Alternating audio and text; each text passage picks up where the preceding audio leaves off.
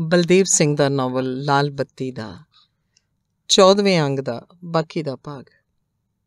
ਮਧੂ ਦੇ ਨਾਲ ਇੰਦਰਾ ਬੈਠੀ ਹੈ।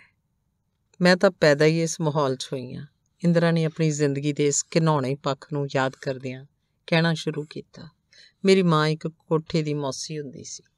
ਉੱਥੇ ਨਿੱਕੀ ਹੁੰਦੀ ਮੈਂ ਲੜਕੀਆਂ ਨੂੰ ਉੱਪਰੇ ਮਰਦਾਂ ਨਾਲ ਨੰਗੀ ਖੇਡ ਖੇਡਦਿਆਂ ਆਮ ਹੀ ਵੇਖਿਆ। ਲੜਕੀ ਅਜੇ ਬੱਚੀ ਹੈ, ਜਾਣ ਕੇ ਉਹ ਮੇਰੀ ਪਰਵਾਹ ਘੱਟ ਹੀ ਕਰਦੇ ਸੀ। ਮੈਂ ਉਹਨਾਂ ਨੂੰ ਅਜੀਬ ਹਰਕਤਾਂ ਕਰਦੇ ਵੇਖ ਕੇ ਹੈਰਾਨ ਹੁੰਦੀ ਰਹਿੰਦੀ ਸੀ।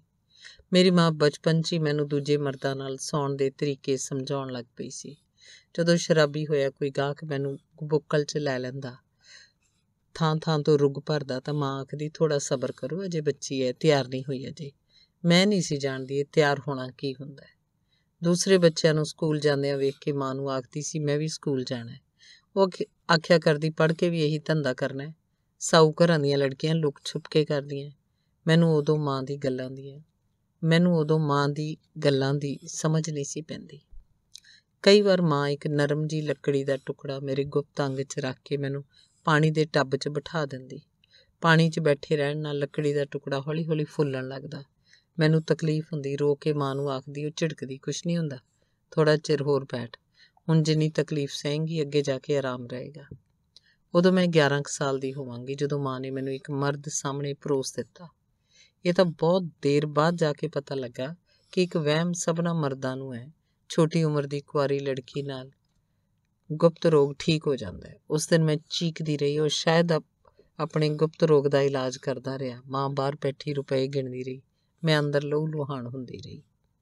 ਫਿਰ ਮਾਂ ਆਪਣਾ ਕਿੱਤਾ ਘਟਾਉਂਦੀ ਗਈ, ਮੇਰਾ ਵਧਾਉਂਦੀ ਗਈ। ਮੈਂ ਉਮਰ ਤੋਂ ਪਹਿਲਾਂ ਹੀ ਪੂਰੀ ਔਰਤ ਬਣ ਗਈ ਸੀ। ਆਵਾਜ਼ ਭਾਰੀ ਜੀ ਹੋ ਗਈ। ਦੂਸਰੀਆਂ ਸਾਥਣਾਂ ਵਾਂਗ ਪਾਨ ਚਬਾ ਕੇ ਗੂੜੀ ਸੁਰਖੀ ਲਾ ਕੇ ਸੰਧਿਆ ਵੇਲੇ ਤਿਆਰ ਹੋਣ ਲੱਗ ਪਈ। ਫਿਰ ਮਾਂ ਦਾ ਕਿਸੇ ਅੰਦਰੂਨੀ ਗੁਪਤ ਬਿਮਾਰੀ ਕਾਰਨ ਬਿਮਾਰ ਹੋ ਕੇ ਦੇਹਾਂਤ ਹੋ ਗਿਆ ਤੇ ਮੈਂ ਨਾ ਚਾਹੁੰਦੀ ਹੋਈ ਵੀ ਸੁਤੰਤਰ ਰੂਪ 'ਚ ਹੀ ਪੇਸ਼ਾ ਅਪਣਾ ਲਿਆ। ਇੱਕ ਵਾਰ ਮਾਨੋ ਚਾਟ ਹੋਇਆ ਵੀ ਇੱਕ ਭੱਦਰ ਬੰਗਾਲੀ ਦੇ ਘਰ ਸ਼ਰੀਫ ਜਿਹੀ ਲੜਕੀ ਬਣ ਕੇ ਘਰ ਦੀ ਸਫ਼ਾਈ ਦਾ ਕੰਮ ਕਰਨ ਲੱਗੀ। ਕੁਝ ਦਿਨਾਂ ਬਾਅਦ ਹੀ ਬੰਗਾਲੀ ਮੁਸ਼ਾਈ ਨੇ ਮੌਕਾ ਵੇਖ ਕੇ ਮੈਨੂੰ ਆ ਫੜਿਆ। ਫਿਰ ਸੋਚਿਆ ਜੇ ਇੱਥੇ ਵੀ ਇਹੀ ਕੰਮ ਕਰਨਾ ਹੈ ਤੇ ਫਿਰ ਕਿਉਂ ਨਾ ਮਾਂ ਦੀ ਆਤਮਾ ਨੂੰ ਸ਼ਾਂਤੀ ਦੇਵਾਂ ਤੇ ਮੈਂ ਇੱਥੇ ਆ ਗਈ। ਆਪਣੀ ਵਿਥਿਆ ਸੁਣਾ ਕੇ ਇੰਦਰਾ ਚੁੱਪ ਹੋ ਗਈ ਤਾਂ ਮਨੀਸ਼ਾ ਮਾਇਆ ਵੱਲ ਝਾਕੀ। ਸਭ ਭੁੱਲ ਗਈਆਂ ਹਨ। ਅੱਜ ਉਹ ਹੱਸਣ, ਖੇਡਣ ਤੇ ਪੂਜਾ ਵੇਖਣ ਆਈਆਂ ਹਨ। ਜੀਵਨ ਦੀ ਕਿਤਾਬ ਦੇ ਪੰਨੇ ਇਸ ਤਰ੍ਹਾਂ ਫਰੋਲੇ ਜਾਣਗੇ। ਘਰੋਂ ਤੁਰਨ ਲੱਗਿਆਂ ਕਿਸੇ ਦੇ ਚਿੱਤ ਚਿੱਤੇ ਵੀ ਨਹੀਂ ਸੀ। ਪਤਾ ਨਹੀਂ ਮਨੀਸ਼ਾ ਦੀ ਇਹ ਸ਼ਰਾਰਤ ਸੀ ਜਾਂ ਗੰਭੀਰਤਾ। ਪਰ ਆਪਣੇ ਨਾਲ ਹੋਈਆਂ ਬੀਤੀਆਂ ਕਹਿ ਕੇ ਮਨ ਹੌਲਾ-ਹੌਲਾ ਮਹਿਸੂਸ ਕਰਦਾ ਹੈ। ਇੰਦਰਾ ਤੇ ਮਧੂ ਇਹੀ ਸੋਚ ਰਹੀਆਂ ਹਨ। ਮੇਰੇ ਮਾਂ ਤੇ ਪਿਤਾ ਦੋਵੇਂ ਸਰਵਿਸ ਕਰਦੇ ਸਨ। ਮਾਇਆ ਹੌਲੀ-ਹੌਲੀ ਉੱਧੜਨਾ ਸ਼ੁਰੂ ਹੁੰਦੀ ਹੈ। ਮੈਂ ਦੋ ਭਾਈਆਂ ਤੋਂ ਵੱਡੀ ਹਾਂ। ਪੱਟੇ ਦੇ ਕਾਲਜ 'ਚ ਪੜ੍ਹਦੀ ਸੀ। 12ਵੀਂ ਦੇ ਇਮਤਿਹਾਨਾਂ 'ਚ 3 ਮਹੀਨੇ ਸੀ।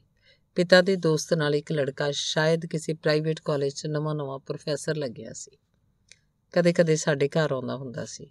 ਇੱਕ ਦਿਨ ਪਿਤਾ ਨੇ ਮੇਰੇ ਬਾਰੇ ਉਹਨੂੰ ਕਿਹਾ ਵੀ ਇਹ ਅਰਥ ਸ਼ਾਸਤਰ 'ਚ ਕਮਜ਼ੋਰ ਹੈ, ਇਹਨੂੰ ਪੜਾਇਆ ਕਰ। ਉਹ ਹਰ ਰੋਜ਼ ਆਉਣ ਲੱਗਾ। ਮਾਤਾ ਪਿਤਾ ਦੀ ਗੈਰ ਹਾਜ਼ਰੀ 'ਚ ਵੀ ਤੇ ਘਰ 'ਚ ਹੋਰ ਕੋਈ ਨਹੀਂ ਸੀ ਹੁੰਦਾ। ਛੋਟੇ ਭਾਈ ਵੀ ਸਕੂਲ ਗਏ ਹੁੰਦੇ ਸੀ। ਪਤਾ ਨਹੀਂ ਉਹ ਛੁੱਟੀ ਲੈ ਕੇ ਆਉਂਦਾ ਸੀ ਕਿ ਉਂਝ ਹੀ ਸਬਬ ਬਣ ਜਾਂਦਾ ਸੀ। ਜਿੰਨਾ ਚਿਰ ਪੜਾਉਂਦਾ ਰਹਿੰਦਾ, ਉਹਦੀਆਂ ਅੱਖਾਂ ਮੇਰੇ ਚਿਹਰੇ ਤੇ ਜੰਮੀਆਂ ਰਹਿੰਦੀਆਂ। ਉਹਦਾ ਵੇਖਣਾ ਮੈਨੂੰ ਵੀ ਚੰਗਾ ਚੰਗਾ ਲੱਗਣ ਲੱਗ ਪਿਆ। ਮੇਰੀ ਵੀ ਇੱਛਾ ਹੁੰਦੀ ਜਦੋਂ ਘਰ 'ਚ ਕੋਈ ਨਾ ਹੋਵੇ, ਉਦੋਂ ਆਵੇ। ਇੱਕ ਦਿਨ ਪਤਾ ਹੀ ਨਹੀਂ ਲੱਗਿਆ ਅਸੀਂ ਇੰਨੇ ਅੱਗੇ ਕਿਵੇਂ ਵੱਧ ਗਏ। ਫਿਰ ਤਾਂ ਇਕੱਲੇ ਹੋਣ ਦਾ ਅਸੀਂ ਬਹਾਨਾ ਭਾਲਦੇ, ਉਹ ਮੈਨੂੰ ਚਿੰਬੜ ਜਾਂਦਾ। ਮਾਂ ਨੂੰ ਉਸ ਦਿਨ ਪਤਾ ਲੱਗਿਆ ਜਿਸ ਦਿਨ ਮੈਨੂੰ ਪਹਿਲੀ ਵਾਰ ਉਲਟੀ ਆਈ। ਉਹ ਹੈਰਾਨ ਹੋਈ। ਫਿਰ ਪੂਰੀ ਤਫਤੀਸ਼ 'ਚ ਉਹਨੇ ਸਾਰਾ ਕੁਝ ਜਾਣ ਲਿਆ। ਪ੍ਰੋਫੈਸਰ ਦਾ ਘਰ ਆਉਣਾ ਬੰਦ ਹੋ ਗਿਆ। ਫਿਰ ਪਤਾ ਲੱਗਿਆ ਉਹ ਮੇਰੇ ਨਾਲ ਵਿਆਹ ਕਰਵਾਉਣ ਲਈ ਤਿਆਰ ਹੈ। ਪਰ ਪਿਤਾ ਜੀ ਰਾਜ਼ੀ ਨਹੀਂ ਹੋਏ। ਘਰ 'ਚ ਕਾਫੀ ਹੰਗਾਮਾ ਹੋਇਆ। ਮੇਰੇ ਇਮਤਿਹਾਨ 'ਚ ਸ਼ਾਦੀ ਨਹੀਂ ਹੋ ਸਕਦੀ। ਮੈਨੂੰ ਉਦੋਂ ਹੀ ਲੱਗਿਆ ਉਹ ਮੁਸਲਮਾਨ ਹੈ, ਘਰ 'ਚ ਕਦੇ ਉਹਦਾ ਨਾਮ ਨਹੀਂ ਸੀ ਲਿਆ ਗਿਆ। ਸਾਰੇ ਪ੍ਰੋਫੈਸਰ ਆ ਕੇ ਸੰਬੋਧਨ ਕਰਦੇ ਸੀ, ਪਰ ਜੇ ਨਾਮ ਦਾ ਪਤਾ ਵੀ ਹੁੰਦਾ ਤਾਂ ਹੁਣ ਕੀ ਹੋ ਸਕਦਾ ਸੀ? ਫਿਰ ਪਿਤਾ ਜੀ ਨੇ ਮਾਂ ਰਾਹੀਂ ਕਿਹਾ, ਬੱਚਾ ਗਰਾ ਦਿੱਤਾ ਜਾਏ। ਮਾਂ ਮੈਨੂੰ ਇੱਕ ਡਾਕਟਰ ਕੋਲ ਲੈ ਗਈ। ਉਹਨੇ ਕਿਹਾ, ਹੁਣ ਦੇਰ ਹੋ ਚੁੱਕੀ ਹੈ, ਜਾਨ ਨੂੰ ਖਤਰਾ ਹੈ। ਪਿਤਾ ਨੇ ਕਿਹਾ, ਜੇ ਮਰ ਜਾਏ ਤਾਂ ਹੋਰ ਵੀ ਚੰਗਾ ਹੈ। ਇਹਦੀ ਵਜ੍ਹਾ ਨਾਲ ਸਾਰੀ ਬਰਾਦਰੀ 'ਚ ਨੱਕ ਕੱਟ ਗਈ ਹੈ। ਉਹ ਕਿਧਰੇ ਵੀ ਮੂੰਹ ਦਿਖਾਉਣ ਜੋਗੇ ਨਹੀਂ ਰਹੇ। ਪਰ ਮੈਂ ਮਰਨਾ ਨਹੀਂ ਸੀ ਚਾਹੁੰਦੀ। ਪਿਤਾ ਨੇ ਹੁਕਮ ਸੁਣਾਇਆ, ਜੇ ਘਰ 'ਚ ਰਹਿਣਾ ਚਾਹੁੰਦੀ ਹੈ ਤਾਂ ਬੱਚਾ ਘਰ 'ਚ ਨਹੀਂ ਆਏਗਾ। ਮੈਂ ਇੱਕ ਦਿਨ ਹਿੰਮਤ ਕਰਕੇ ਪ੍ਰੋਫੈਸਰ ਦੇ ਘਰ ਗਈ ਤੇ ਦੱਸਿਆ, ਮੇਰੇ ਪੇਟ 'ਚ ਤੇਰਾ ਬੱਚਾ ਹੈ। ਉਹਨੇ ਕਿਹਾ, ਕਿਸੇ ਹੋਰ ਸ਼ਹਿਰ ਜਾ ਕੇ ਸ਼ਾਦੀ ਕਰਕੇ ਰਹਿ ਲੈਂਦੇ ਆ ਮੈਂ ਘਰੋਂ ਨਿਕਲਣ ਦਾ ਪ੍ਰੋਗਰਾਮ ਬਣਾ ਕੇ ਆਈ ਤਾਂ ਪਿਤਾ ਨੇ ਘਰ ਦੇ ਦਰਵਾਜ਼ੇ ਬੰਦ ਕਰ ਦਿੱਤੇ। ਸ਼ਾਮ ਦਾ ਵਕਤ ਸੀ। ਪ੍ਰੋਫੈਸਰ ਵੱਲ ਫੇਰ ਗਈ ਤਾਂ ਉਹਨੇ ਆਪਣੇ ਘਰ ਵਾਲਿਆਂ ਦਾ ਵਾਸਤਾ ਪਾ ਕੇ ਰਾਤ ਭਰ ਲਈ ਉਡੀਕ ਕਰਨ ਵਾਸਤੇ ਕਿਹਾ। ਮੈਂ ਸਾਰੀ ਰਾਤ ਭਟਕਦੀ ਰਹੀ। ਰੇਲਵੇ ਸਟੇਸ਼ਨ ਤੇ ਰਾਤ ਕੱਟੀ ਕਰਨ ਲਈ। ਕਰਨ ਗਈ ਤਾਂ ਤਰਸ ਖਾ ਕੇ ਸਟੇਸ਼ਨ ਬਾਬੂ ਆਪਣੇ ਕਮਰੇ ਅੰਦਰ ਲੈ ਗਿਆ। ਅੱਧੀ ਰਾਤ ਮੇਰੇ ਨਾਲ ਆ ਪਿਆ। ਮੈਂ ਉੱਥੋਂ ਭੱਜ ਨਿਕਲੀ, ਪਰ ਜਾਂਦੀ ਕਿੱਧਰ? ਪਤਾ ਨਹੀਂ ਘਰ 'ਚ ਵੜਨ ਦਿੰਦਾ ਤੇ ਜਿਹਦਾ ਬੱਚਾ ਪੇਟ 'ਚ ਲੈ ਕੇ ਘੁੰਮ ਰਹੀ ਸੀ, ਉਹ ਆਪਣੇ ਮਾਪਿਓ ਤੋਂ ਡਰਦਾ ਸੀ। ਬਾਕੀ ਦੀ ਰਾਤ ਇੱਕ ਮੰਦਰ ਦੀਆਂ ਪੌੜੀਆਂ 'ਚ ਪਈ ਰਹੀ। ਸੋਚਿਆ ਸੀ ਸ਼ਾਇਦ ਦੇਵੀ ਮਾਂ ਮੇਰੇ ਤੇ ਮਿਹਰ ਕਰੇਗੀ। ਸਵੇਰ ਪੁਜਾਰੀ ਨੇ ਜਦੋਂ ਮੈਨੂੰ ਦੇਖਿਆ ਤਾਂ ਹਮਦਰਦੀ ਨਾਲ ਮੇਰੇ ਸਿਰ ਤੇ ਹੱਥ ਰੱਖਿਆ। ਫਿਰ ਮੂੰਹ ਧੋਣ ਲਈ ਪਾਣੀ ਦਿੱਤਾ, ਚਾਹ ਪਲਾਈ, ਦੇਵੀ ਮਾਂ ਦਾ ਪ੍ਰਸ਼ਾਦ ਦਿੱਤਾ। ਮੈਂ ਪਸੀਜ ਗਈ ਉਹਨੂੰ। ਉਹਨੂੰ ਆਪਣੇ ਨਾਲ ਹੋਈ ਬੀਤੀ ਸੁਣਾਈ। ਉਹਨੇ ਆਸ਼ੀਰਵਾਦ ਦਿੰਦਿਆਂ ਆਖਿਆ, ਘਬਰਾ ਨਾ ਬੇਟੀ, ਤੂੰ ਇੱਥੇ ਹੀ ਰਹੇਂਗੀ, ਆਪਣੇ ਬੱਚੇ ਨੂੰ ਜਨਮ ਵੀ ਦੇਂਗੀ। ਦੇਵੀ ਮਾਂ ਤੇਰੇ ਤੇ ਕਿਰਪਾ ਕਰੇਗੀ, ਸਭ ਅੱਛਾ ਹੋ ਜਾਏਗਾ। ਤੇ ਉਹ ਮੈਨੂੰ ਮੰਦਰ ਦੇ ਪਿੱਛੇ ਆਪਣੇ ਕਮਰੇ 'ਚ ਲੈ ਗਿਆ। ਦੋ ਦਿਨ ਸਭ ਠੀਕ ਠਾਕ ਰਿਹਾ। ਤੀਜੇ ਦਿਨ ਮੈਂ ਬਹੁਤ ਉਦਾਸ ਹੋ ਗਈ, ਰੋਣ ਲੱਗ ਪਈ। ਪੁਜਾਰੀ ਆਇਆ ਮੈਨੂੰ ਹੌਸਲਾ ਰੱਖਣ ਲਈ ਆਖਦਾ। ਮੇਰੀ ਪਿੱਠ ਭਲੋਸਣ ਲੱਗਾ, ਮੈਨੂੰ ਜਾਪਿਆ ਜਿਵੇਂ ਉਹਦਾ ਹੱਥ ਦਾ ਦਬਾਅ ਕੁਝ ਵਧੇਰੇ ਹੀ ਹੈ। ਫਿਰ ਉਹਦਾ ਹੱਥ ਕਮਰ ਦੇ ਹੇਠਾਂ ਤੱਕ ਆ ਗਿਆ। ਮੈਂ ਖਿਸਕ ਕੇ ਪਰੇ ਹੋ ਗਈ ਤਾਂ ਉਹਨੇ ਆਪਣਾ ਅਸਲੀ ਰੂਪ ਵਿਖਾਇਆ। ਬੋਲਿਆ, ਜੇ ਤੂੰ ਦੇਵੀ ਮਾਂ ਦੇ ਪੁਜਾਰੀ ਨੂੰ ਪ੍ਰਸੰਨ ਨਾ ਕੀਤਾ, ਤਾਂ ਦੇਵੀ ਮਾਂ ਤੈਨੂੰ ਸਰਾਪ ਦੇਗੀ। ਤੇਰਾ ਬੱਚਾ ਪੇਟ ਅੰਦਰ ਹੀ ਮੁਰਦਾ ਹੋ ਜਾਏਗਾ। ਜਿਸ ਆਸਣ ਤੇ ਬੈਠ ਕੇ ਉਹ ਦੇਵੀ ਮਾਂ ਦੀ ਆਰਾਧਨਾ ਕਰਦਾ ਸੀ, ਉਸੇ ਆਸਣ ਤੇ ਉਹਨੇ ਮੇਰੇ ਨਾਲ ਜ਼ਬਰਦਸਤੀ ਕੀਤੀ। ਤਿੰਨ ਦਿਨ ਮੈਂ ਹੋਰ ਉੱਥੇ ਰਹੀ। ਪੁਜਾਰੀ ਦਿਨੇ ਵੀ, ਰਾਤ ਨੂੰ ਵੀ ਮੇਰੇ ਨਾਲ ਕੁਕਰਮ ਕਰਦਾ ਰਿਹਾ। ਇੱਕ ਦਿਨ ਪੁਜਾਰੀ ਕੋਲ ਦੋ ਔਰਤਾਂ ਆਈਆਂ ਤੇ ਕੁਝ ਚਿਰ ਉਹਨਾਂ ਦੀ ਗੁਪਤ ਵਾਰਤਾਲਾਪ ਚੱਲਦੀ ਰਹੀ। ਇਸ ਤੋਂ ਅਗਲੇ ਦਿਨ ਪਟਨੇ ਤੋਂ ਰੇਲ ਗੱਡੀ ਚੜਾ ਕੇ ਉਹ ਦੋ ਔਰਤਾਂ ਮੈਨੂੰ ਦੇਵਕੀ ਮੌਸੀ ਕੋਲ ਛੱਡ ਗਈਆਂ। ਰਾਜੂ ਦਾ ਜਨਮ ਵੀ ਇੱਥੇ ਹੀ ਆ ਕੇ ਹੋਇਆ। ਫੇਰ ਮਨੀਸ਼ਾ ਨੇ ਪੁੱਛਿਆ, ਫੇਰ ਕੀ? ਮਾਇਆ ਵਿਅੰਗ ਨਾਲ ਮੁਸਕਰਾਈ। ਬਿਨਾਂ ਕੰਧਾਂ ਵਾਲੇ ਖੁੱਲੇ ਵੇਸਵਾ ਘਰ ਚੋਂ ਨਿਕਲ ਕੇ ਕੰਧਾਂ ਵਾਲੇ ਤੰਗ ਵੇਸਵਾ ਘਰ 'ਚ ਆ ਗਈ। ਦੇਵਕੀ ਮੌਸੀ ਬੇਸ਼ੱਕ ਪੈਸੇ ਦੀ ਭਾਈਵਾਲ ਹੈ, ਪਰ ਦੁੱਖ ਸੁੱਖ 'ਚ ਸਾਥ ਤਾਂ ਦਿੰਦੀ ਹੈ। ਇੱਥੇ ਜਿਹੜਾ ਵੀ ਮਰਦ ਆਉਂਦਾ ਚਿਹਰੇ ਤੇ ਮੁਖੌਟਾ ਤਾਂ ਪਹਿਨ ਕੇ ਨਹੀਂ ਆਉਂਦਾ। ਸਟੇਸ਼ਨ ਬਾਬੂ ਜਾਂ ਪੁਜਾਰੀ ਵਾਂਗ ਆਪਾਂ ਨੂੰ ਪਤਾ ਹੁੰਦਾ ਹੈ, ਉਹ ਕੀ ਲੈਣ ਆਇਆ ਆਪਾਂ ਉਹਦੀ ਇੱਛਾ ਪੂਰਤੀ ਲਈ ਤਿਆਰ ਹੁੰਦੀਆਂ। ਪਰ ਬਾਹਰ ਦੀ ਸਾਊ ਅਖਵਾਉਂਦੀ ਦੁਨੀਆ 'ਚ ਮੈਂ ਕੀ ਕਹਾਂ? ਚੰਗਾ ਚੁੱਪ ਹੀ ਰਹਾ। ਤੇ ਉਹ ਚੁੱਪ ਕਰ ਗਈ। ਗੁੱਡੀ ਸਮਝ ਗਈ ਹੁਣ ਉਹਦੀ ਵਾਰੀ ਹੈ। ਇੰਨਾ ਚਿਰ ਉਹਨੇ ਮਧੂ, ਮਨੀਸ਼ਾ ਜਾਂ ਮਾਇਆ ਦੀਆਂ ਗੱਲਾਂ ਸੁਣਨ ਵੱਲ ਘੱਟ ਧਿਆਨ ਦਿੱਤਾ। ਉਹਨੇ ਆਪ ਕੀ ਕਹਿਣਾ ਇਹਦੇ ਬਾਰੇ ਸੋਚਦੀ ਰਹੀ। ਨੀਵੀਂ ਪਾਈ ਉਹ ਘਾਹ ਦੀਆਂ ਤਿੜਾਂ ਪੁੱਟ ਰਹੀ ਹੈ। ਮਾਇਆ ਨੇ ਕੂਣੀ ਮਾਰ ਕੇ ਉਹਨੂੰ ਸੁਚੇਤ ਕੀਤਾ ਤਾਂ ਉਹ ਸੰਭਲ ਕੇ ਸਾਵਧਾਨ ਹੋ ਗਈ। ਇੱਕ ਲੰਮਾ ਸਾਹ ਲਿਆ ਤੇ ਬੋਲਣ ਲੱਗੀ, ਮੇਰਾ ਪਿਓ ਸ਼ਰਾਬੀ ਸੀ। ਪੱਕਾ ਕੰਮ ਉਹ ਕੋਈ ਨਹੀਂ ਸੀ ਕਰਦਾ, ਪਰ ਅਜਿਹਾ ਕੰਮ ਵੀ ਕੋਈ ਨਹੀਂ ਸੀ, ਜਿਹੜਾ ਉਹਨੇ ਕਰਕੇ ਨਾ ਵੇਖਿਆ ਹੋਵੇ। ਉਹਨੂੰ ਸ਼ਰਾਬ ਚਾਹੀਦੀ ਹੁੰਦੀ ਸੀ, ਕਿਸੇ ਵੀ ਢੰਗ ਨਾਲ ਮਿਲੇ। ਸ਼ਰਾਬ ਲਈ ਉਹ ਲੋਕਾਂ ਦੀਆਂ ਜੁੱਤੀਆਂ ਚੱਟ ਸਕਦਾ ਸੀ। ਪਹਿਲਾਂ ਮਾਂ ਦੀਆਂ ਟੂਮਾਂ ਵੇਖੀਆਂ, ਫਿਰ ਇੱਕ ਇੱਕ ਕਰਕੇ ਘਰ ਦੀਆਂ ਵਸਤਾਂ। ਹੁਣ ਮਾਂ ਤੇ ਮੈਂ ਹੀ ਉਸ ਕੋਲ ਬਚੀਆਂ ਸੀ। ਸ਼ਰਾਬ ਦੇ ਨਸ਼ੇ 'ਚੋਂ ਮਾਂ ਤੋਂ ਕਦੇ ਪੈਸੇ ਮੰਗਦਾ, ਕਦੇ ਗਹਿਣੇ। ਮਾਂ ਦੇ ਨਾ ਸਕਦੀ ਤਾਂ ਕੁੱਟਦਾ, ਗਾਲਾਂ ਕੱਢਦਾ। ਬੁਰਾ ਭਲਾ ਆਖਦਾ, ਇਹੀ ਸਿਲਸਿਲਾ ਸੀ ਦਿਨ ਰਾਤ ਦਾ ਸਾਡੇ ਘਰ 'ਚ। ਇੱਕ ਛੋਟਾ ਜਿਹਾ ਘਰ ਸੀ ਸਾਡੇ ਕੋਲ, ਇੱਕ ਕਮਰਾ, ਵਿਹੜਾ ਤੇ ਰਸੋਈ ਦੇ ਨਾਂ ਤੇ ਵਲਗਣ ਕਰਕੇ ਓਟ ਜਿਹੀ ਹੋਈ। ਬਸ ਇੱਕੋ ਕਮਰੇ 'ਚ ਮਾਂ, ਪਿਓ ਤੇ ਮੈਂ ਸੌਂਦੇ। ਮਾਂ ਕੁੱਟ ਖਾ ਕੇ ਕਿੰਨਾ ਚਿਰ ਰੋਂਦੀ ਰਹਿੰਦੀ। ਫਿਰ ਪਿਓ ਦੀ ਝਿੜਕ ਤੇ ਉੱਠ ਕੇ ਉਹਨੂੰ ਰੋਟੀ ਦਿੰਦੀ। ਮੈਂ ਡਰਦੀ ਆਪਣੀ ਮੰਜੀ 'ਚ ਹੀ ਦੁਬਕੀ ਰਹਿੰਦੀ। ਰਾਤ ਨੂੰ ਪਿਓ ਮਾਂ ਦੇ ਮੰਜੇ ਤੇ ਚਲਿਆ ਜਾਂਦਾ। ਮੈਂ ਹੈਰਾਨ ਹੁੰਦੀ। ਇੰਨੀ ਕੁੱਟ ਖਾ ਕੇ ਵੀ ਮਾਂ ਅੱਗੋਂ ਹੱਸਦੀ। ਮੇਰੇ ਪਿਓ ਨੂੰ ਜੱਫੀਆਂ ਪਾਉਂਦੀ। ਉਦੋਂ ਮੈਂ 14-15 ਸਾਲ ਦੀ ਹੋਵਾਂਗੀ। ਮੈਨੂੰ ਸਮਝ ਹੀ ਨਹੀਂ ਸੀ ਆਉਂਦੀ ਮਾਂ ਤੇ ਪਿਓ 'ਚ ਇੰਨੀ ਜਲਦੀ ਸਮਝੌਤਾ ਕਿਵੇਂ ਹੋ ਗਿਆ। ਤੜਕੇ ਫੇਰ ਹੋਈ ਇੱਟ ਕੁਹਾੜੀ ਖੜਕਦੀ। ਰਾਤ ਨੂੰ ਪਿਓ ਪੀ ਕੇ ਆਉਂਦਾ, ਫਿਰ ਝਗੜਾ ਹੁੰਦਾ, ਕੁੱਟਮਾਰ ਵੀ ਹੁੰਦੀ, ਪਰ ਰਾਤ ਨੂੰ ਮੰਜੇ ਤੇ ਫਿਰ ਇਕੱਠੇ ਹੋ ਜਾਂਦੇ। ਮੇਰਾ ਜੀ ਕਰਦਾ ਕੋਈ ਮੈਨੂੰ ਵੀ ਜੱਫੀਆਂ ਪਾਵੇ, ਮੇਰਾ ਮੂੰਹ ਚੁੰਮੇ। ਅਚਾਨਕ ਇੱਕ ਦਿਨ ਮੇਰੀ ਮਾਂ ਨੇ ਕਿਹਾ, ਤੇਰਾ ਵਿਆਹ ਹੈ, ਹੁਣ ਬਾਹਰ ਅੰਦਰ ਨਾ ਫਿਰੀ ਵਾਲਾ ਮੈਨੂੰ ਬਾਅਦ 'ਚ ਪਤਾ ਲੱਗਿਆ, ਬਾਪੂ ਨੇ ਕਾਫੀ ਰਕਮ ਲੈ ਕੇ ਇੱਕ ਅਧੇੜ ਉਮਰ ਦਾ ਮਰਦ ਮੇਰੇ ਲਈ ਸਿਹੇੜ ਦਿੱਤਾ। ਮੇਰਾ ਵਿਆਹ ਹੋ ਗਿਆ। ਮੇਰਾ ਘਰ ਵਾਲਾ ਮੈਨੂੰ ਢਿੱਲੀਆਂ ਜੀਆਂ ਬਾਹਾਂ ਨਾਲ ਜੱਫੀ ਪਾਉਂਦਾ, ਫਿਰ ਪਾਸੇ ਹੋ ਕੇ ਸੌਂ ਜਾਂਦਾ, ਮੇਰੇ ਅੰਦਰ ਅੱਗ ਬਲਦੀ ਰਹਿੰਦੀ। ਨੀਂਦ ਨਾ ਆਉਂਦੀ, ਉਹ ਸੁੱਤਾ ਪਿਆ ਘਰਾੜੇ ਮਾਰਦਾ ਰਹਿੰਦਾ। ਫਿਰ ਮੈਂ ਉਹਨਾਂ ਦੇ ਗੁਆਂਢ ਇੱਕ ਗੱਭਰੂ ਨਾਲ ਜੋੜ ਕਰ ਲਿਆ। ਘਰ ਵਾਲੇ ਨੂੰ ਪਤਾ ਲੱਗਿਆ ਤਾਂ ਮੇਰਾ ਹਾਲ ਵੀ ਮਾਂ ਵਾਲਾ ਹੋਣ ਲੱਗਾ। ਉਹ ਸ਼ਰਾਬੀ ਹੋ ਕੇ ਮੈਨੂੰ ਕੁੱਟਦਾ। ਪਰ ਮੇਰੇ ਪਿਓ ਦੇ ਮਾਂ ਨਾਲ ਸਮਝੌਤਾ ਕਰਨ ਵਾਂਗ ਮੇਰੇ ਮੰਜੇ ਤੇ ਨਾ ਆਉਂਦਾ। ਇੱਕ ਦਿਨ ਸ਼ਰਾਬੀ ਹੋਇਆ, ਕੁੱਟਣ ਲੱਗਾ ਤੇ ਮੈਂ ਹੱਥ ਫੜ ਲਿਆ, ਵੰਗਾਰਿਆ। ਆ ਤਾਂ ਦੇਖਾ ਕਿੱਡਾ ਕੁ ਮਰਦਾ ਤੂੰ। ਤੇ ਮੈਂ ਆਪਣੇ ਲੀੜੇ ਪਾੜ ਦਿੱਤੇ। ਉਹਦੇ ਲੀੜੇ ਪਾੜ ਦਿੱਤੇ, ਮੈਂ ਨੰਗੀ ਹੋ ਕੇ ਉਹਨੂੰ ਲਲਕਾਰਿਆ। ਆ, ਮਰਦਾ ਹੈ ਤਾਂ। ਭਿੱਜੀ ਜੀ ਬੱਕਰੀ ਵਾਂਗੂ ਨੀਵੀਂ ਪਾ ਕੇ ਮੰਜੇ ਤੇ ਬਹਿ ਗਿਆ। ਉਹ ਤੋਂ ਮਗਰੋਂ ਨੇ ਮੇਰੇ ਤੇ ਕਦੇ ਹੱਥ ਨਾ ਚੁੱਕਿਆ। ਪੀ ਕੇ ਆਉਂਦਾ, ਜੇ ਮੈਂ ਰੋਟੀ ਦੇ ਦਿੰਦੀ, ਖਾ ਲੈਂਦਾ, ਨਹੀਂ ਤਾਂ ਚੁੱਪ ਕਰਕੇ ਪੈ ਜਾਂਦਾ। ਇੱਕ ਦਿਨ ਆਂਦਾ ਆਪਾਂ ਕਲਕੱਤਾ ਚੱਲਣਾ ਪਿੰਡ ਛੱਡ ਦੇਣਾ ਮੈਨੂੰ ਪਤਾ ਸੀ ਉਹਦੀ ਜਾਣ ਪਛਾਣ ਵਾਲੇ ਉਹਨੂੰ ਮਿਹਣੇ ਮਾਰਦੇ ਆ। ਉਹ ਨਮਰਦੀ ਦੀ ਨਮੋਸ਼ੀ ਮੰਨੀ ਬੈਠਾ ਸੀ। ਕਲਕੱਤੇ ਆ ਕੇ ਗੁਜ਼ਾਰਾ ਕਾਦੇ ਨਾਲ ਕਰਦੇ? ਕੰਮ ਤਾਂ ਉਹਨੂੰ ਕੋਈ ਆਉਂਦਾ ਨਹੀਂ ਸੀ। ਉਤੋਂ ਨਸ਼ੇ ਦਾ ਆਦੀ। ਪਤਾ ਨਹੀਂ ਉਹਨੂੰ ਕਿਹੜਾ ਮਿਲਿਆ। ਕਿਹਨੇ ਰਾਏ ਦਿੱਤੀ? ਇੱਥੇ ਇੱਕ ਕਮਰਾ ਲੈ ਲਿਆ। ਆਂਦਾ, ਲੈ ਵੀ, ਭਗਵਾਨ ਨੇ। ਇੱਥੇ ਤੇਰੀ ਭੁੱਖ ਵੀ ਸ਼ਾਂਤ ਹੋਊਗੀ ਤੇ ਮੇਰੀ ਵੀ। ਮੇਰੀ ਭੁੱਖ ਦਾ ਮੈਨੂੰ ਪਤਾ ਨਹੀਂ ਕਦੋਂ ਲੱਗੀ ਸੀ ਤੇ ਕਦੋਂ ਮਰ ਵੀ ਗਈ। ਹਾਂ, ਉਹਦੀ ਭੁੱਖ ਜ਼ਰੂਰ ਸ਼ਾਂਤ ਹੋ ਗਈ। ਕਿਸੇ ਗਾਹਕ ਨੂੰ ਆਖਦਾ, ਮੇਰੀ ਧੀ ਹੈ। ਕਿਸੇ ਨੂੰ ਆਖ ਦਿੰਦਾ, ਮੇਰੀ ਨੂੰਹ ਹੈ। ਕਦੇ ਮੇਰਾ ਚਾਚਾ ਬਣ ਪੈਂਦਾ ਹੈ, ਕਦੇ ਭਰਾ। ਨਹੀਂ ਗੁੱਡੀ, ਉਹ ਤੇਰਾ ਪਤੀ ਹੈ? ਇੰਦਰਾ ਨੇ ਹੈਰਾਨ ਹੋ ਕੇ ਪੁੱਛਿਆ। ਗੁੱਡੀ ਕੁਛ ਨਹੀਂ ਬੋਲੀ, ਫਿੱਕਾ ਜਿਹਾ ਹੱਸੀ। ਕੋਈ ਸਵਾਲ ਜਵਾਬ ਨਹੀਂ ਕਰੇਗੀ। ਮਨੀਸ਼ਾ ਨੇ ਟੋਕਿਆ, ਨਾ ਕੋਈ ਦੂਜੀ ਵਿਚਕਾਰ ਬੋਲੇਗੀ। ਆਪਾਂ ਕਿਸ਼ਤੀ ਦੀ ਸੈਰ ਵੀ ਤਾਂ ਕਰਨੀ ਹੈ, ਮਧੂ ਬੋਲੀ। ਬਸ ਕੰਚਨ ਤੇ ਰੇਖਾ ਨੂੰ ਪੁੱਛ ਲਈਏ, ਫਿਰ ਕਿਸੇ ਰੈਸਟੋਰੈਂਟ ਦੇ ਤੇ ਕੁਝ ਖਾਣ ਪੀਣ ਕਰਾਂਗੀਆਂ ਤੇ ਬਾਅਦ ਚ ਕਿਸ਼ਤੀ ਦੀ ਸੈਰ।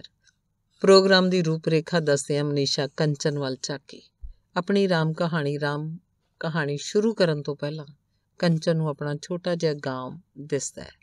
ਮੁਸ਼ਕਲ ਨਾਲ 20 ਕੁ ਝੁੱਗੀਆਂ ਵਰਗੇ ਘਰ ਹੋਣਗੇ। ਘਾਹ ਫੂਸ ਦੀਆਂ ਤੇ ਕੱਚੀਆਂ ਛੱਤਾਂ ਵਾਲੇ। ਰਸੋਈ ਦੀ ਜਗ੍ਹਾ ਜਿੱਡੇ ਜਿੱਡੇ ਖੇਤ ਵੀ ਸਨ ਉਹਨਾਂ ਕੋਲ। ਕੰਚਨ ਨੇ ਖੰਘ ਕੇ ਗਲਾ ਸਾਫ਼ ਕੀਤਾ। ਬਹੁਤ ਛੋਟੀ ਤਾਂ ਨਹੀਂ ਸੀ। ਤੀਵੀਂ ਮਰਦ ਦੇ ਫ਼ਰਕ ਨੂੰ ਸਮਝਣ ਲੱਗ ਪਈ ਸਨ। ਇੱਕ ਅੱਧ ਕਮਰੇ ਨੂੰ ਛੱਡ ਕੇ ਪਿੰਡ ਦੇ ਸਾਰੇ ਘਰ ਦੀ ਘਰ ਹੀ ਅਤ ਗਰੀਬੀ ਵਾਲੇ ਸਨ। ਪਿੰਡ ਦੀਆਂ ਔਰਤਾਂ ਹੀ ਵਧੇਰੇ ਕੰਮ ਕਰਦੀਆਂ ਸੀ। ਮਰਦ ਤਾਂ ਘਰ ਬੈਠੇ ਹੁੱਕਾ ਪੀਂਦੇ ਰਹਿੰਦੇ ਜਾਂ ਬੀੜੀਆਂ ਪੀਂਦੇ ਰਹਿੰਦੇ। ਸਾਡਾ ਕੰਮ ਹੁੰਦਾ ਸੀ ਖੇਤਾਂ ਤੇ ਜੰਗਲ ਚੋਂ ਕੰਦ ਮੂਲ ਚੁੱਕੇ ਚੁਣ ਕੇ ਆਉਣਾ ਤੇ ਭਾਜੀ ਬਣਾ ਲੈਣੀ। ਰਾਸ਼ਨ ਡਿਪੂ ਤੋਂ ਲਿਆਂਦੇ ਕੱਕਰ ਪੰਥਰਾਂ ਵਾਲੇ, ਕੱਕਰ ਪੱਥਰਾਂ ਵਾਲੇ ਸਸਤੇ ਚੌਲ ਉਬਾਲ ਲੈਣੇ। ਕਿਸੇ ਹਾਟ ਹਾਟ ਮਤਲਬ ਮੰਡੀ ਮੇਲਾ ਤੋਂ ਲਿਆਂਦੀ ਘਟੀਆ ਸਾੜੀ ਉਦੋਂ ਤੱਕ ਪਹਿਨੀ ਰੱਖਣੀ ਜਦੋਂ ਤੀਕਰ ਉਹ ਮੱਛੀਆਂ ਦੇ ਜਾਲ ਵਰਗੀ ਨਹੀਂ ਸੀ ਬਣ ਜਾਂਦੀ।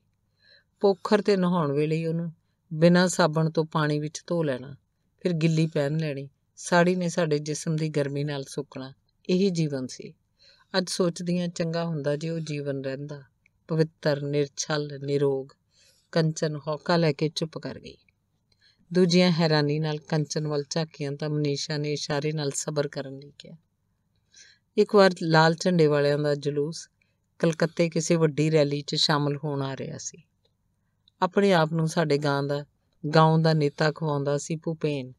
ਘਰ ਆ ਕੇ 5 ਰੁਪਏ ਨਗਦ ਤੇ ਰਜਵਾ ਭਾਤ ਖਵਾਉਣ ਦਾ ਲਾਲਚ ਦੇ ਗਿਆ। ਇਸੇ ਲਾਲਚ ਵਿੱਚ ਲਾਲ ਝੰਡਾ ਚੁੱਕ ਕੇ ਜਲੂਸ 'ਚ ਸ਼ਾਮਲ ਹੋ ਗਈ। ਬੱਸ ਤੇ ਰੇਲ ਦਾ ਮੁਫਤ ਸਫ਼ਰ, ਕਲਕੱਤਾ ਵੇਖਣ ਦਾ ਚਾਹ ਇੰਨੀ ਪ੍ਰਚੰਡ ਭੀੜ, ਇੰਨਾ ਵਿਸ਼ਾਲ ਮੈਦਾਨ ਤੇ ਲਾਲ ਝੰਡਿਆਂ ਦਾ ਤੂਫਾਨ। ਮੈਂ ਪਹਿਲੀ ਵਾਰ ਦੇਖਿਆ ਸੀ। ਦੋ ਨਾਰੇ ਹੀ ਸਾਨੂੰ ਰਟਾਏ ਗਏ। ਆਮਾਰ ਦਾਬੀ ਦੀਤੇ ਹੋਵੇ ਮਤਲਬ ਸਾਡਾ ਹੱਕ ਦੇਣਾ ਪਏਗਾ ਤੇ ਇਨਕਲਾਬ ਜ਼ਿੰਦਾਬਾਦ। ਨਾਰੇ ਲਾਲਾ ਮੇਰਾ ਗਲਾ ਬੈਠ ਗਿਆ। ਸੋਚਦੀ ਸਾਂ ਇਸ ਰੈਲੀ ਤੋਂ ਬਾਅਦ ਸਾਨੂੰ ਭਾਤ ਮੱਛੀ ਮਿਲਿਆ, ਕਰੇਗੀ, ਬਹੁਤ ਖੁਸ਼ ਸੀ। ਮਾਂ ਪਿਓ ਪ੍ਰਤੀ ਮੈਂ ਵੀ ਕੋਈ ਚੰਗਾ ਕੀਤਾ ਸੀ। ਹੁਣ ਸਾਨੂੰ ਜੰਗਲ ਵਿੱਚੋਂ ਪਹਾੜੀ ਘਾਹ ਫੂਸ ਨਹੀਂ ਲੈਣ ਜਾਣਾ ਪਏਗਾ। ਲਾਲ ਝੰਡੇ ਵਾਲੇ ਸਾਨੂੰ ਰੋਟੀ, ਕੱਪੜਾ, ਮਕਾਨ ਸਭ ਦੇਣਗੇ, ਇਹੀ ਕਹਿੰਦੇ ਰਹੇ ਹੋ। ਘਰ ਮੁੜਦਿਆਂ ਨੂੰ ਰਾਤ ਪੈ ਗਈ, ਭੁਪੇਨ ਆਇਆ ਘਰ ਦੇ ਤੇ ਮਾਂ ਨਾਲ ਪਤਾ ਨਹੀਂ ਕੀ ਗੱਲਾਂ ਕਰਦਾ ਰਿਹਾ। ਜਾਂਦਾ ਹੋਇਆ ਮਾਂ ਨੂੰ 5 ਰੁਪਏ ਵੀ ਪਕੜਾ ਗਿਆ। ਉਹਦੇ ਚਲੇ ਜਾਣ ਬਾਅਦ ਮਾਂ ਨੇ ਕਿਹਾ, ਜਾ ਸਿਰ ਦੋ ਸਿਰ ਚਾਵਲ ਲਿਆ ਭੁਪੇਨ ਦੇ ਕੋਲੋਂ। 10 ਰੁਪਏ ਹੋਰ ਦੇਣ ਲਈ ਵੀ ਆਖ ਗਿਆ। ਹੌਲੀ ਹੌਲੀ ਮੋੜ ਦਿਆਂਗੇ। ਮੈਨੂੰ ਸਮਝ ਨਹੀਂ ਸੀ ਆਈ। ਮਾਂ ਕਿਵੇਂ 10 ਰੁਪਏ ਮੋੜੇਗੀ? ਕੋਈ ਕੰਮਕਾਰ ਨਹੀਂ, ਖੇਤੀ ਨਹੀਂ, ਨੌਕਰੀ ਨਹੀਂ, ਫਿਰ? ਮੈਂ ਚਲੀ ਗਈ। ਭੁਪੇਨ ਘਰ ਹੀ ਸੀ। ਕਮੀਜ਼ ਲਾ ਕੇ ਬਨੈਣ ਪਾਈ ਹੋਈ ਸੀ। ਸਰੀਰ ਤਕੜਾ ਸੀ, ਪੱਕਾ ਰੰਗ, ਦਿਹਾਤੀ ਬੰਗਾਲੀਆਂ ਵਰਗਾ। ਘਰ 'ਚ ਕੋਈ ਨਹੀਂ ਸੀ। ਉਹਨੇ ਮੈਨੂੰ ਬੈਠਣ ਲਈ ਕਿਹਾ। ਪਰ ਉਹ ਖਿੜਕੀ ਅਤੇ ਬੂਹਾ ਕਿਉਂ ਬੰਦ ਕਰ ਰਿਹਾ ਸੀ? ਮੈਂ ਹੈਰਾਨ ਹੋਈ। ਆਪ ਹੀ ਆਂਦਾ, ਮੈਨੂੰ ਚਾਵਲ ਦਿੰਦਿਆਂ ਕਿਸੇ ਨੇ ਦੇਖ ਲਿਆ ਤਾਂ ਬਸਤੀ ਦੇ ਸਾਰੇ ਲੋਕ ਹੀ ਮੰਗਣ ਤੁਰ ਪੈਣਗੇ। ਮੇਰੇ ਨਜ਼ਦੀਕ ਆ- ਕੇ ਬੋਲਿਆ, ਠੀਕ ਕੀਤਾ ਹੈ ਨਾ ਮੈਂ? ਉਸ ਕੋਲੋਂ ਸ਼ਰਾਬ ਦੀ ਬੂ ਆਈ। ਮੇਰੇ ਚਿਹਰੇ ਤੇ ਘਬਰਾਹਟ ਵੇਖ ਕੇ ਉਹ ਹੱਸਿਆ। ਚਾਹੇ ਤਾਂ ਹਰ ਰੋਜ਼ ਚਾਵਲ ਲੈ ਜਾਇਆ ਕਰ, ਤੇ ਮੱਛੀ ਵੀ। ਫਿਰ ਉਹਨੇ ਜਾ ਕੇ ਆਪਣੀ ਕਮੀਜ਼ ਚੁੱਕੀ ਤੇ ਖੀਸੇ 'ਚੋਂ ਦਸਾਂ ਦਾ ਇੱਕ ਨੋਟ ਕੱਢ ਕੇ ਮੇਰੇ ਵੱਲ ਆਇਆ। ਆ ਲੈ। ਆਪਣੀ ਮਾਂ ਨੂੰ ਦੇਈ ਜਾ ਕੇ। ਤੇ ਚਾਵਲ? ਮੈਂ ਡਰਦੀ ਡਰਦੀ ਨੇ ਪੁੱਛਿਆ। ਮੈਂ ਦੇਖਿਆ ਉਹਦੀ ਨਿਗਾਹ ਮੇਰੀਆਂ ਛਾਤੀਆਂ ਤੇ ਟਿਕੀ ਸੀ। ਆ, ਇਧਰ, ਇੱਥੋਂ ਲੈ ਲੈ। ਇਸ਼ਾਰੇ ਨਾਲ ਉਹਨੇ ਸੱਜੇ ਹੱਥ ਪਿਆ ਇੱਕ ਮਟਕਾ ਵਿਖਾਇਆ। ਮੈਂ ਚਾਵਲ ਵੇਖਣ ਲੱਗੀ ਤਾਂ ਉਹਨੇ ਪਿੱਛੋਂ ਜੱਫੀ ਪਾ ਕੇ ਮੇ, ਮੈਨੂੰ ਫੜ ਲਿਆ। ਮੈਂ ਆਪਣਾ ਆਪ ਛੁਡਾ ਕੇ ਬਿਨਾਂ ਚਾਵਲਾਂ ਦੇ ਦਸਾਂ ਦਾ ਨੋਟ ਲਿਆ, ਰੋਂਦੀ ਘਰ ਆ ਗਈ। ਮਾਂ ਨੇ ਝਿੜਕਿਆ, ਹੁਣ ਕੀ ਖਾਏਂਗੀ? ਮੇਰਾ ਸਿਰ? ਮੈਂ ਦੱਸਿਆ, ਮਾਂ, ਉਹ ਮੈਨੂੰ ਇਸ ਤਰ੍ਹਾਂ ਫੜਦਾ ਸੀ। ਉਹਦੀ ਸ਼ਰਾਬ ਪੀਤੀ ਹੋਈ ਸੀ। ਫਿਰ ਕੀ ਹੋਇਆ? ਮੌਤ ਪੈ ਚੱਲੀ ਸੀ ਤੈਨੂੰ? ਮਾਂ ਦਾ ਇਹ ਵਤੀਰਾ ਤੇ ਰੂਪ ਵੇਖ ਕੇ ਮੈਂ ਸਤੰਭ ਰਹਿ ਗਈ। ਮੈਂ ਆਪ ਹੀ ਸ਼ਰਮ ਜਾਂਦੀ ਹੁੰਦੀ ਸੀ ਆਪਣੇ ਆਪ ਨੂੰ ਦੇਖ ਕੇ ਤੇ ਉਹਨੂੰ ਜੇ ਕੋਈ ਸ਼ਰਾਬੀ ਛੇੜਦਾ ਤਾਂ ਮੌਤ ਨਹੀਂ ਆਏਗੀ। ਇਹ ਕੀ ਆਖਦੀ ਹੈ ਮਾਂ? ਸ਼ਾਇਦ ਉਹ ਸਾਡੇ ਵਰਗਿਆਂ ਦੇ ਜੀਵਨ ਦਾ ਸੱਚ ਹੀ ਆਖ ਰਹੀ ਸੀ। ਗਰੀਬ ਦੀ ਇੱਜ਼ਤ ਨਾਲੋਂ ਚਾਵਲ ਤੇ ਮੱਛੀ ਬਹੁਤ ਵੱਡੀਆਂ ਚੀਜ਼ਾਂ ਨੇ। ਕੰਚਨ ਨੇ ਫਿਰ ਹੌਕਾ ਲਿਆ। ਫਿਰ ਇੱਕ ਦਿਨ ਹੋਰ, ਦੋ ਦਿਨ ਹੋਰ ਮੈਂ ਭੁਪੇਨ ਕੋਲ ਜਾਣ ਲੱਗੀ। ਮਾਪਿਓ ਲਈ ਚਾਵਲ ਮੱਛੀ ਮਿਲਣ ਲੱਗੇ। ਮੇਰੇ ਕਾਰਨ ਉਹਨਾਂ ਦੇ ਜੀਵਨ 'ਚ ਕੁਝ ਖੁਸ਼ੀ ਪਰਤ ਆਈ।